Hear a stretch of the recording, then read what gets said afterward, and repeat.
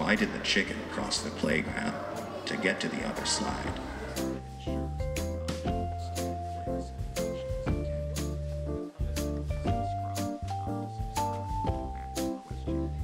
And it's a very interactive experience.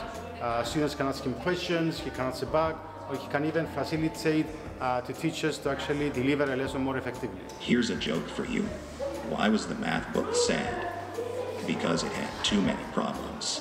From this experience, uh, all of the participants, uh, the teachers, the kids, even the school, they got to know ChatGPT. They're not scared of the technology anymore.